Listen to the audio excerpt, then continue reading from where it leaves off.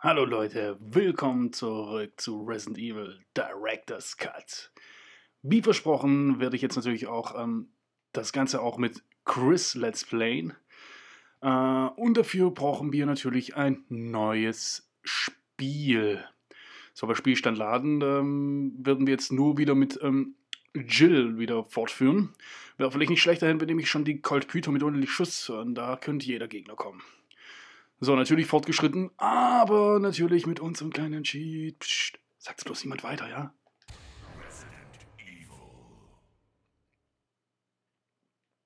Ja. So, natürlich, ähm, mit Jill hatten wir es schon. Nehmen wir Chris Redfield diesmal. Also mit Chris wird das Spiel ein bisschen schwieriger. Vor allem auch für mich, weil ich muss mich jetzt wieder komplett wieder um, ähm, umstellen auf alles. Wo alles liegt wieder, das ist krass. Und vor allem, ja, weniger Waffen. Aber ich glaube, ich würde das hinkriegen. Juli 1998, Raccoon Forest. Alpha Team is flying around the forest zone situated in northwest Raccoon City, where we're searching for the helicopter of our compatriots Bravo Team, who disappeared during the middle of our mission. No, I haven't found it yet. Bizarre murder cases have recently occurred in Raccoon City. There are outlandish reports of families being attacked by a group of about 10 people. Victims were apparently eaten. Bravo team went to the hideout of the group and disappeared.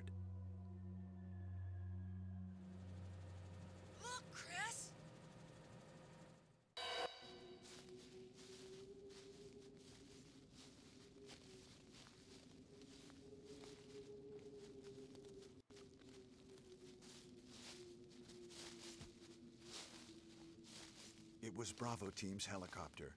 Nobody was in it. But strangely, most of the equipment was still there. However, we soon discovered why.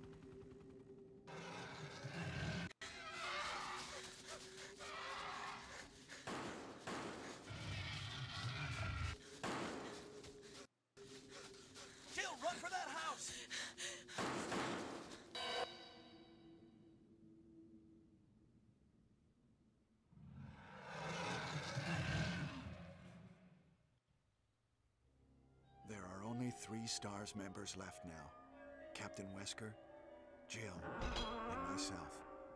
We don't know where Barry is. Chris Redfield.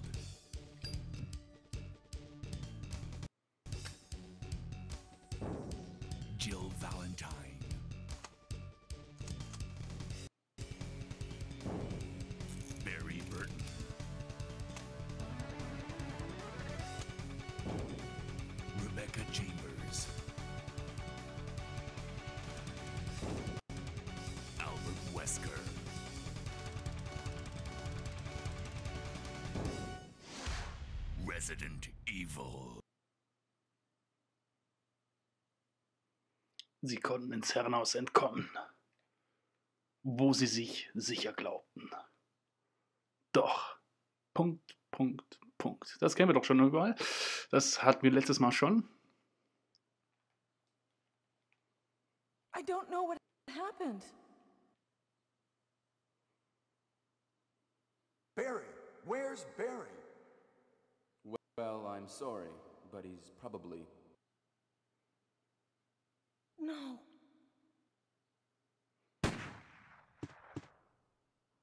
What is that? I'll go and check. Okay, Jill and I will stay in the hall in case of an emergency.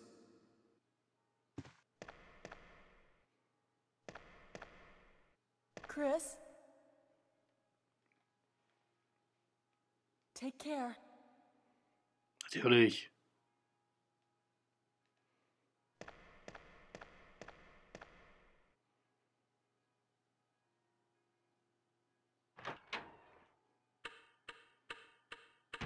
So, das Gute ist mit äh, Chris, was ist der Gute? Ähm, Ja, wir haben nichts, wir haben nur ein Messer. Äh, hier gibt es nichts großartig jetzt viel mit Videos. ähm, und wie gesagt, das Spiel ist natürlich um einiges schwieriger. Man braucht wirklich, äh, hier wird hier nicht, bei gar nichts geholfen. Doch nur das, was Jill nicht kann. Äh, Dafür ist dann Rebecca zuständig.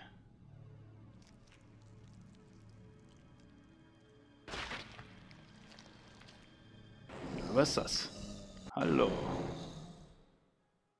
Also ich brauchte keine drei Sekunden, um zu verstehen, dieser Junge will nichts Gutes von mir.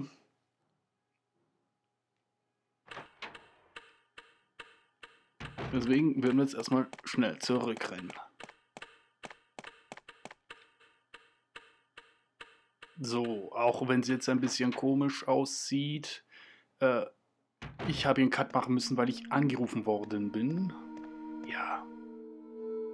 Ziemlich ungünstige Lage. Gerade im Video, Wesker? Jill? wenn man da keine Pause drücken kann. Aber ich mache das mit Absicht. Weil mir der Gesprächsstoff ausgeht. Wie über was zu reden. Äh, wir über was zu reden. What's happening? Leave me alone. Das ist Jills Waffe. Möchten Sie dies nehmen, Beretta? Ja, natürlich möchte ich das nehmen. Ich muss mich doch irgendwie gegen diese scheiß Zombies wehren.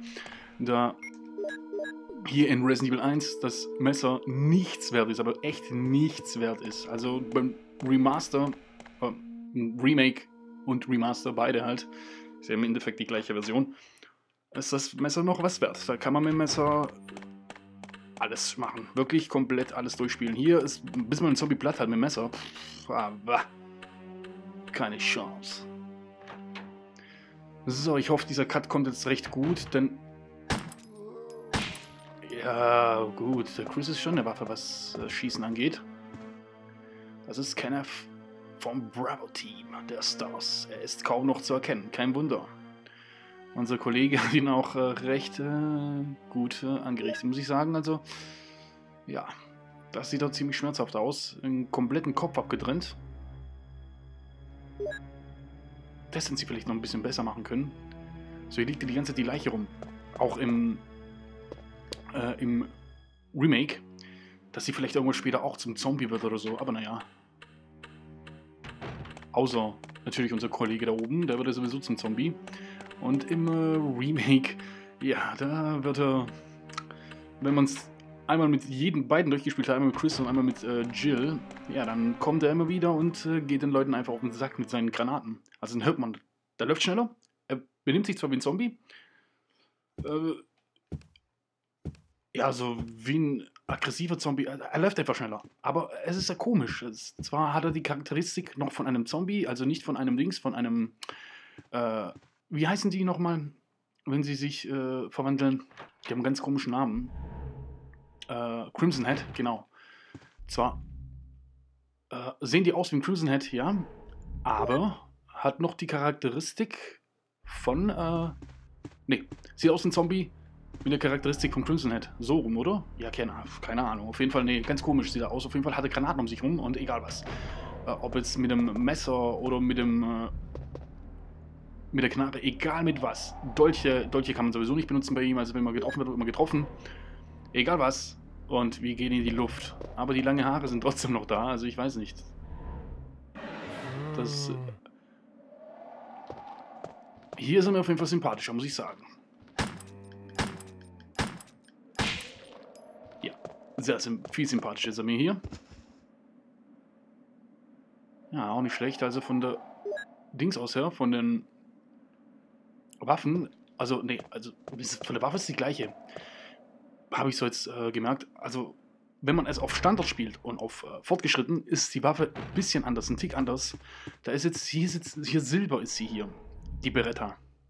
Wenn man aber auf äh, normal spielt, ist die Beretta, glaube ich, ganz normal schwarz. So rum war es, glaube ich. Ich bin mir jetzt nicht mehr sicher. Naja. Ist auch nicht so wild. Auf jeden Fall ist ja so, dass man, wenn man das auf Standard spielt oder auf äh, normal, auf leicht halt, dass äh, ja mit der Knarre kaum äh, die Schädel zerschießen. Das geht nur auf fortgeschritten irgendwie. Also man, könnte man auch eventuell sagen, dass fortgeschritten vielleicht doch die ja, vielleicht nicht die einfachere Variante ist, was jetzt natürlich der Energie angeht. Außer natürlich Chris. Chris kann natürlich mehr einstecken.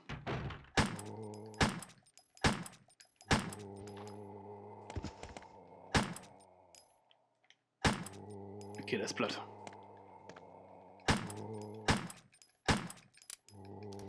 Boah, da ist er schnell. Ja, okay, gut. Sollte vielleicht ein bisschen näher rangehen.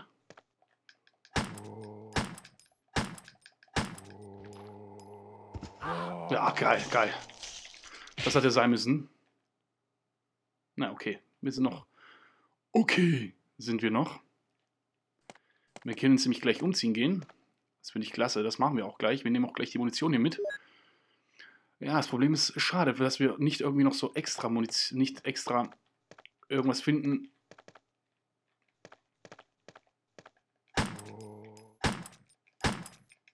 Ich habe das Gefühl, sag mal, sind die so ein bisschen schneller? Nee. Kommt mir nur so vor. Weg mit dem Schädel. Schreibtisch, äh, Schreibtisch ist verschlossen. Möchten Sie dies benutzen? Kleiner Schlüssel. Jawohl. Sie haben dies gerade benutzt. Kleiner Schlüssel. Ja, trifft sich doch gar nicht mal so schlecht hier. Möchten Sie dies mitnehmen? Schrotmunition. Jawohl, möchte ich. Warum denn nicht? So, wieder 15 Schuss. Denn ein Schuss, mit dem machen wir jetzt natürlich nicht arg viel. Ja, hier würden wir natürlich mit äh, Chris uns äh, natürlich schöner austoben können, da wir weniger Waffen haben. Komm schon, fall hin. So, jetzt ist er platt. Ja, geil. Wir können natürlich hier von nichts mitnehmen, wir können es nur umziehen. Wir können keine Kräuter mixen, gar nichts. Das ist natürlich sehr, sehr schade. Da habe ich doch eine kleine Idee. Was wir doch da machen können. Erstmal ziehen wir uns um. Ah, ich denke, ich weiß nicht. Freizeitklamotten. Ist etwas Passendes für Sie dabei. Möchten Sie sich umziehen? Ja. Also schauen wir mal, welche. Ich glaube, hier hat man einfach nur so ein grünes, ja, so eine grüne Jacke an. Das sieht, das sieht richtig bescheuert aus. Wenn ja, dann ziehen wir uns nochmal um. Und zwar ziehen wir uns dann den, ja, die Freizeitklamotten an. Wenn es natürlich kacke aussieht. Ja, das sieht kacke aus. Das sieht sehr kacke aus. Das gefällt mir gar nicht. Nein, wir ziehen die Freizeitklamotten an. Das passt nicht. Das ist das Passendes für Sie da. Okay. Möchten Sie sich umziehen? Ja, diese Jacke. Claire, äh, ja doch, Claire Redfield hat die gleiche, bloß natürlich in Pink, in Jeansform. Und ihr halt, äh, Chris ist halt ein äh, harter Brocken. Lederjacke mit Engel hinten drauf. Aber dieser gleiche Engel ist auch auf äh, Claires Jacke drauf. Ja, Mensch und denn schon. Motorradfahrer Chris. So, Fakt ist, wir müssen jetzt erstmal... Okay, entweder... Ja, okay. Wir müssen sowieso ein paar Sachen ablegen. Wenn wir also ein paar Sachen ablegen müssen, dann machen wir es gleich so und versuchen Richard zu retten. Das ist das Erste, was wir machen sollten. Richard retten.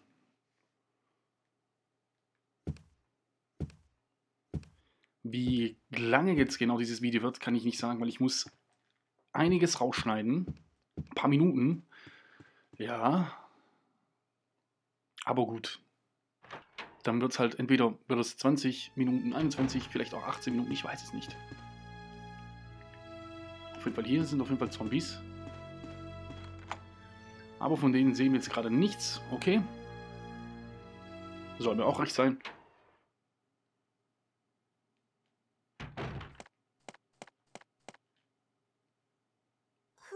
Wer bist du?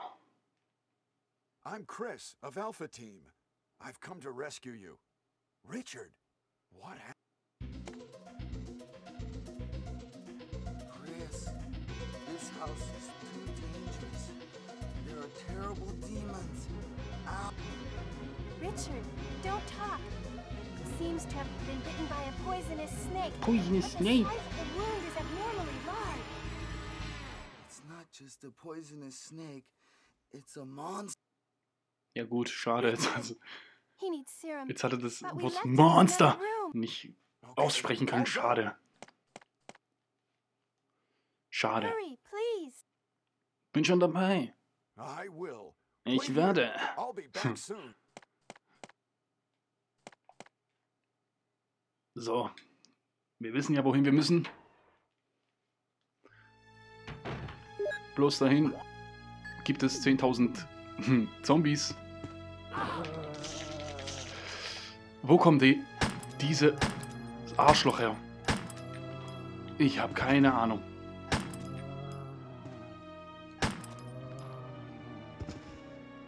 Ja, ich bin auch okay. Gut. Ja, das war ja krass, oder?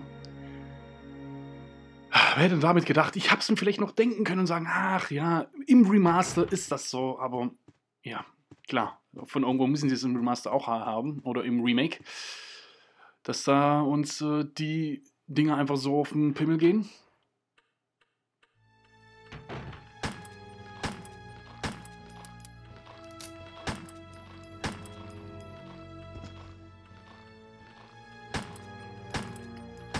Also mit Jill war das um einiges besser. Ja. Genau. Gut, darum kümmern wir uns nachher später. Um dieses Wappen. Wir müssen einige Sachen nämlich ablegen. Und zwar einiges. Hier geht es erstmal weiter, gleich, gleich zielen, denn hier gibt es gleich erstmal wieder einen Zombie, der auf uns zukommt.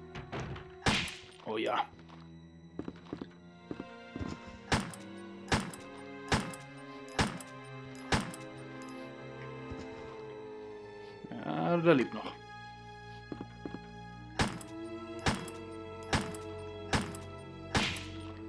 Der lebt nicht mehr. Und der auch nicht mehr. Sehr schön. Ich liebe es, wenn es die Schädel zerschießt. Ah ja, ich liebe es einfach. Ich kann es nicht oft genug sagen. Diesen Weg können wir uns äh, später, ihr habt ja gesehen, ähm, haben wir diesen Passcode, den finden wir leider mit Chris nicht. Schade. Egal. Hier müssen wir aufpassen, hier gibt es gleich wieder Hunde. Gleich beim ersten Schritt. Ja, komm schon, steh auf.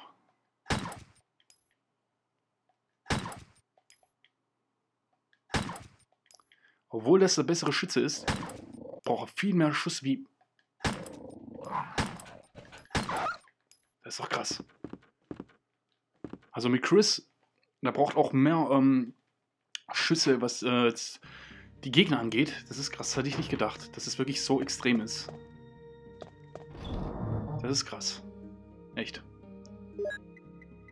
So, Magazin. Das dahin. Das Magazin.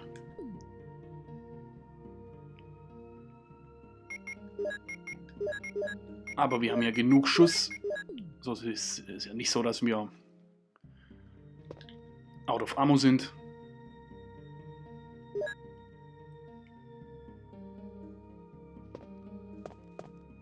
Eine Sache ist aber Fakt. Oh, jetzt wird es ein bisschen kriminell. Oh, ich hätte hier eigentlich äh, einen Cut machen sollen. Gut, das machen wir halt so. Habe ich nicht gespeichert. Aber ähm, wir machen hier einen Cut und wie es weitergeht, seht ihr im nächsten Video, Leute. Okay, also haut rein. Bis zum